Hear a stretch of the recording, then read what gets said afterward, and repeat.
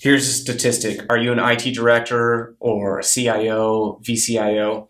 If your organization has a data breach, 87% chance that you will no longer be employed at that organization within 12 months of that data breach.